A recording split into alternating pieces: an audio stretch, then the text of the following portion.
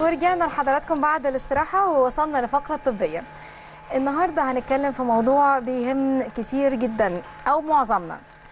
آه وده لأن كتير مننا بياخد أدوية لعلاج مشاكل معينة زي مثلا أدوية الضغط والسكر والاكتئاب وغيرهم كتير. ما بنبقاش عارفين هل الأدوية دي ممكن تسبب زيادة في الوزن أو لأ؟ يعني الشائع أن أدوية الاكتئاب وحبوب منع الحمل والأدوية اللي بتحتوي على كورتيزون بيسببوا زيادة الوزن. فهل ده صحيح ولا لأ؟ وهل في أدوية تانية بتسبب زيادة الوزن؟ كل ده هنعرفه النهاردة من دكتور معي عبد اللطيف أخصائية التغذية العلاجية وعلاج السمنة من الفريق الطبي لشركة On Target Pharma أهلا بيك يا دكتور أهلا شيف موضوع مهم والله. أكيد يعني آه، في ناس كتير فعلا بتبقى مضطرة إنها تاخد آه، حبوب منع الحمل وخصوصا الناس اللي عندها مشاكل في التكيسات والحاجات دي. صح كده؟ فعلا. آه وفي آه ناس تبقى بتمر ب يعني فترات بتبقى صعبة زي أدوية الاكتئاب بتبقى مضطرة إنها. تاخدها. بالظبط. خلينا نتكلم عن ال ال ال ال الجزء ده أو النوعية دي من آه الحالات اللي ممكن تبقى يعني غصب عنها. لو حابين يعني بيحصل لهم زيادة وزن قولي لنا ممكن نتعامل بقى مع القصة دي إزاي؟ إنها برضو موضوع شائك آه شوية. بالظبط فعلا. أول حاجة في خلينا نقول إيه معظم الأدوية اللي ممكن تسبب السمنة؟ إن في ناس كتير بتاخد الأدوية.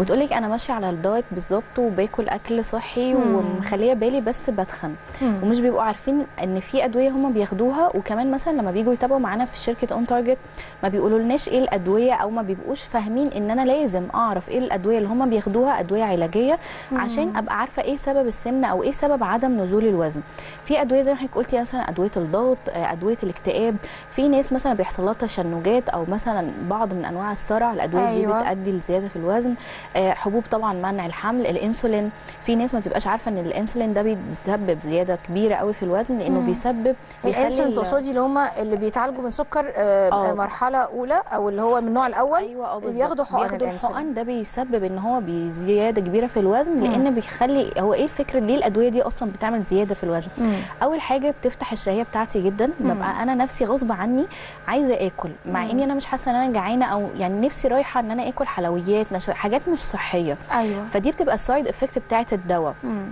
مثلا زي الإنسولين بيعمل إنه بيغير توزيعة الدهون بتاعة الجسم. فتلاقي مثلا كمان الناس اللي بتاخد الكورتيزون ال- الدهون مثلا بقت في الرقبة في الوش في الإيد. يعني ال- الأماكن اللي كانت معتادة فيها لأ بيغير التوزيعة من أول وجديد. بتروح في أماكن تانية. أماكن تانية. بي... كأنه بيغير أماكن توزيع الدهون في الجسم كله. يعني مثلا لو كانت البطن مثلا فيها الدهون بيغير تاني مرحلة شكل تكوين الدهون في الجسم. فبتلاقي مم. شكل الجسم أصلا الناس اللي بتاخد بالذات كورتيزون جسمهم مرة واحدة اتنفخ آه. في أماكن الوش بقى الإيد الرقبة بيبقى أماكن بيبقى شكلهم غريب. مم. وكمان الأدوية دي بتخلي إن احتباس المية والسوائل والأملاح بيبقى كتير جدا تحت الجلد.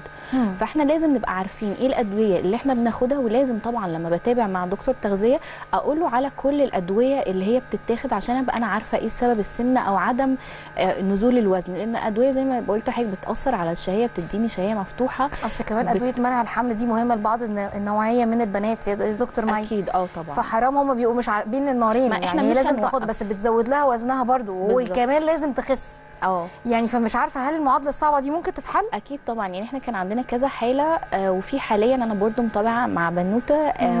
بتاخد للأسف برضو يعني ربنا إن شاء الله يشفيها دواء آمين. كورتيزون آه. وللأسف هي لازم تاخده لمرحلة طويلة شوية مم. فطبعا قد هي كانت رفيعة بدأت وزنها يزيد جدا مم. آه، جسمها معظمه بقى فيه يعني هو أكتر من الدهون مية أكتر فهي دايما بقت حاسة إن هي دلوقتي متضايقة وحاسة إن هي متوترة إن كمان قربت يعني تتجوز فهي حابة إن هي حبيبتي. تخس أو بسرعة آه. في وقت قليل.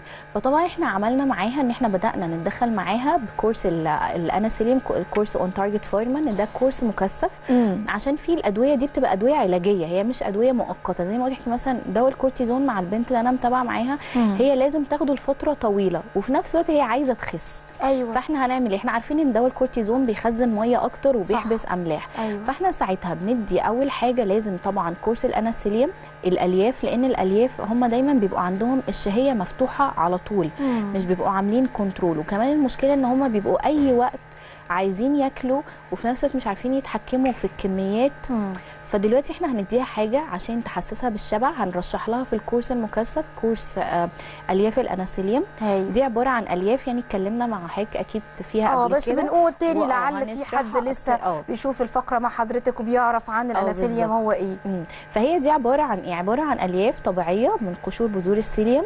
دي بتعتبر إحنا عندنا أجود أنواع القشور السيليوم إن إحنا بنستوردها من الهند. مم. فإحنا بناخد أعلى يعني درجة نقاء من قشور بذور السيليوم دي. مم.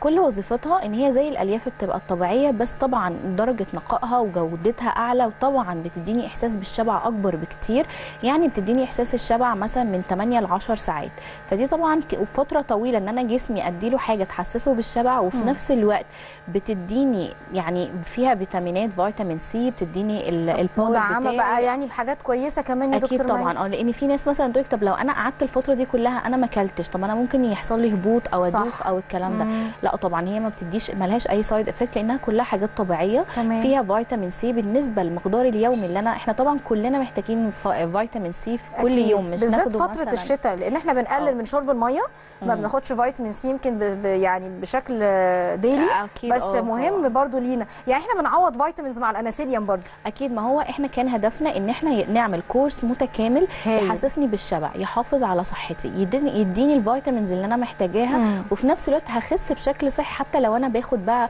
أدوية هتزود الوزن أو مثلا عندي أمراض مزمنة مم. فده اللي بيعمله ألياف الاناسيليوم إن هي عبارة بتنفش في المعدة وتديني أعلى امتلاء كويس. عشان أحس بالشبع فدي أول حاجة إحنا هنقدر حضرتك قلتي المعادلة هنقدر نحلها إن شاء الله هنقدر نحلها إن شاء الله بإذن. الله أهم حاجة بس. توصيه إنه اللي بياخد الاناسيليوم لازم يشرب, يشرب مية كتير مية آه علشان في ناس بتاخد الكورس ما تشربش نسبة المية المطلوبة فما بيبقاش بيوصل لحجم الامتلاء فتقول لك أنا ما حسيتش إن ما أنا خسيتش أو آه. حسيت إن أنا شبعانة لأ فعلا لازم بعد ما ناخده نشرب كوبايتين مية عشان الألياف بتحب المية فكل ما هشرب مية هتديني الامتلاء اللي أنا عايزاه. إن أنا أحسس المعدة إن أنا أكلت مع إني أنا مش واكلة.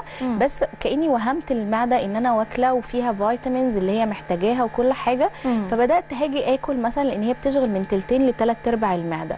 هيتبقى عندي آخر ربع ده الربع اللي أنا بقى اللي هتحكم فيه في الكمية كويس بس أنا برضو مش بتحكم فيه يعني أنا اللي بمنع نفسي لأ إحنا هناكل اللي إحنا عايزينه بكل طرق صحية. أنا هحس بقى إن أنا مش قادرة. هحس إن أنا خلاص أنا شبعانة فهاجي بقى على الوجبة بتاعتي مثلا الغدا زي الكشري الحلو اللي إحنا داخلين إيه رأيك فيه يا جميل دكتورة؟ تسلم إيدك.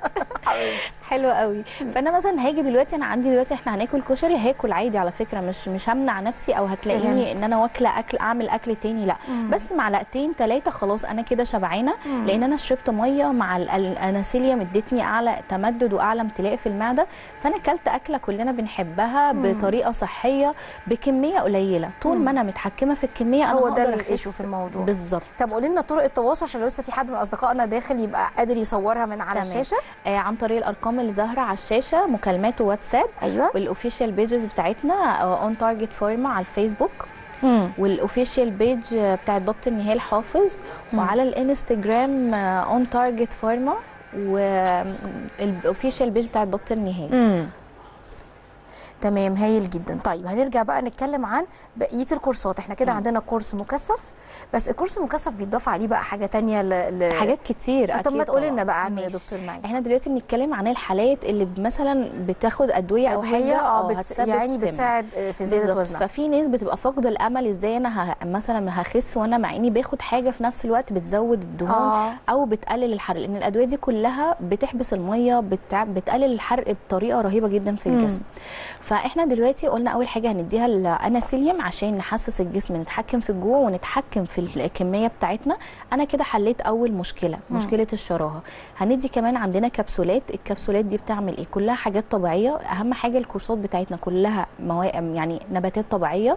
واخدة طبعا تصريح من منظمة هيئة الغذاء والدواء ممتاز. ومرخصة. فما فيش أي حاجة كيميائية عشان الناس بتبقى خايفة أو بتبقى عايزة تطمن. والناس بالذات اللي جربت وما ما كانش في نجاح في معانا في. الدايت اللي عملته. بالظبط فدلوقتي هنحط الكبسولات الكبسولات دي فيها كلها نباتات كل اللي بتعملها ان هي أول حاجة بتزود الحرق لأن طبعا الناس اللي بتاخد الأدوية دي الحرق عندها تقريبا بيكون منعدم مم. وكمان بنزود بن الإحساس الشبع كويس. وكمان بنقلل الشراهة ناحية الحلويات والنشويات على حسب بقى الحالة لو هي فعلا بتروح للحلويات أو آه للنشويات دي أو كل بقى حاجات إحنا داتا بناخدها بتعرفوها بقى من بقى. آه،. العملاء بتوعنا مثلا حد يقول أنا عندي مشكلة شراهة في الحلويات النشويات لا أنا مش عارف أتحكم في الجوع بتاعي في الكمية مم. فإحنا لازم نعرف بس إحنا ده اللي بيبقى الكورس المكثف للحالات اللي هي عندها سمنة مفرطة ومحتاجين نخس في وقت يعني قياسي قليل. عشان مم. نحافظ على صحتنا ونظبط هرمونات الحرق تاني مم. فاحنا كده حطينا الألياف حطينا الكبسولات أهم حاجة برضو في الكورس المكثف السلاك مم. السلاك ده إحنا يعتبر في يعني شركة On Target Pharma هي متميزة آه. بالسلاك مفيش تركيبة.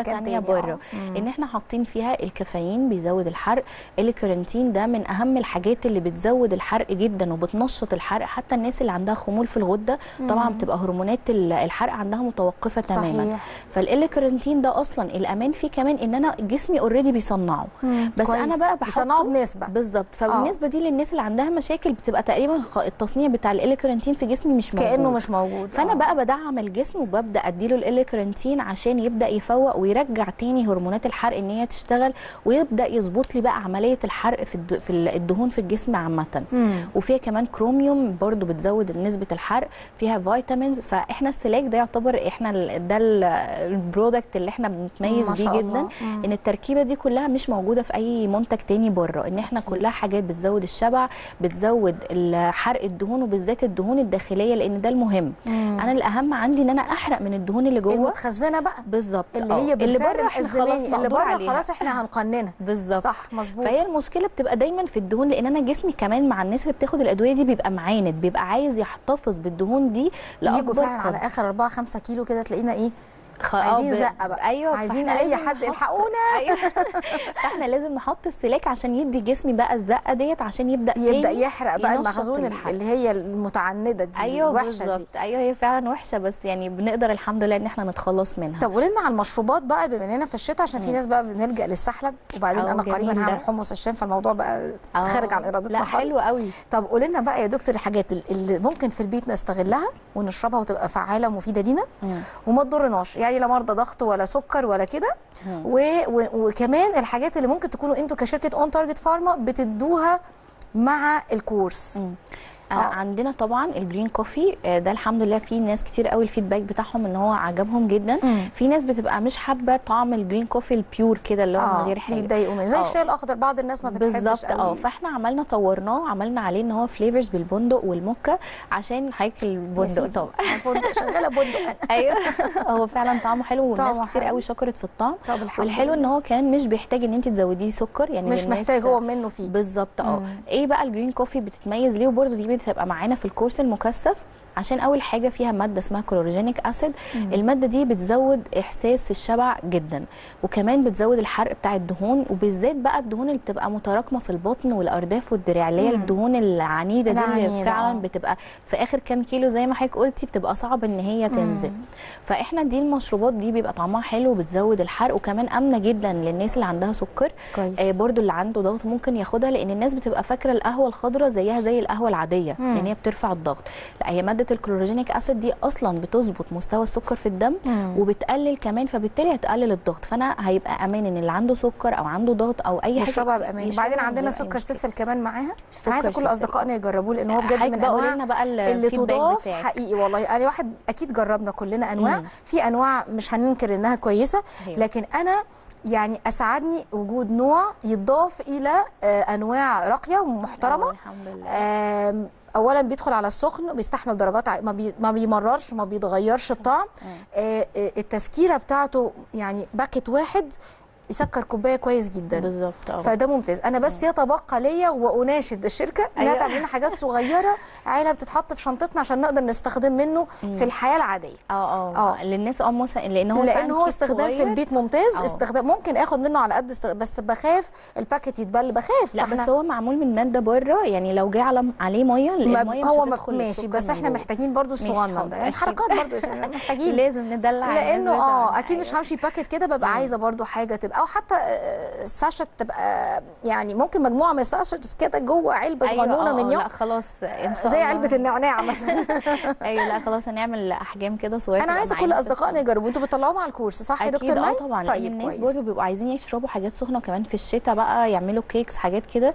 فالسكر ده آمن جدا برضه اللي عنده سكر كويس. اللي داخل على مقاومة إنسولين والأطفال اللي عايزين نقنن موضوع السكر معاهم بالظبط آه لأن هو مش بيرفع السكر في الدم. وكمان ملوش سعرات يعني كيس مثلا يعادل معلقتين من. السكر الأبيض أنا كأني ما خدتش سكر أصلا في جسمي. طب الحمد فدي لله. حاجة هايلة هو ده اللي إحنا عايزينه. أهم حاجة الطعم كمان طعم. ما يتغيرش. لا الحمد لله الطعم فيه ممتاز. أنا بالظبط. هستسمحك تقول لنا تاني. طرق التواصل بعد إذنك؟ ماشي. عن طريق الأرقام اللي بتبقى ظاهرة على الشاشة مكالمات واتساب أيوة. وال official pages بتاعتنا On Target Pharma أيوه. على الفيسبوك وال official page بتاع الدكتور نهال حافظ وعلى الانستجرام On Target Pharma و official page بتاع الدكتور نهال حافظ. تمام هايل جدا طبعا أنا يعني مبسوطة إنه ال- ال- الدنيا يعني تبقى جميلة للناس دي لأنه بجد إحنا جالنا أسئلة وإنتوا أكيد برضو جالكم أسئلة بس أنا. اتسألت على الموضوع. ده بس أنا ما صدقت إنها تتعمل موضوع الحلقة وسعيدة بوجودك معايا دكتور مي ميرسي، بجد والله إنك. تجاوبينا إن شاء الله هنعمل ال- ال- الحلقة الثانية نتكلم زي ما قلنا لأصدقائنا كلهم عن البروتين النباتي واهميته علشان إحنا عايزين بدائل البروتين الحيواني في ناس vegetarian أصلا وعايشة. طول عمرها ما بتاكلش لا فراخ ولا لحمة ولا أي حاجة أيوة. ف... وبسم الله ما شاء الله ربنا يديمها عليهم نعمه بصحة جيدة وكويسين آه، جدا. ومفيش حاجة تنقصهم في جسمهم مم. فإحنا عايزين نتكلم بقى عن البدائل دي عشان الحالة الاقتصادية ونقول في بدائل. إحنا نستفيد منها بالظبط، كمان صح. ما فيهاش أي مشكلة خالص البروتين النباتي بيوفي بالغرض طبعا ومع تقدم. العمر بيبقى صحي لينا بيطول عمرهم صح أكيد، كده أيوه أكيد آه فخلينا. نحاول نستغل ال- الحاجات المتاحة أكيد. زي زمان ماشي بشكرك يا دكتور مي. بجد اسمحوا. لي أشكر آه، دكتور مي اللي شرفتني ونورتني دكتور مي عبد اللطيف أخصائية التغذية العلاجية وعلاج السمنة آه، من الفريق الطبي لشركة On Target Pharma نورتيني وشرفتيني وبشكر حضراتكم بجد مشاهدينا الكرام ومشاهدي ومتابعينا آه، من خلال شاشة قناة الأهلي تحية وحب وتقدير لحضراتكم. من هنا لحلقة جديدة أتمنى من الله ولا يكتر على الله. أشوفكم على ألف خير وصحة وسلامة وسعادة و سلام عليكم.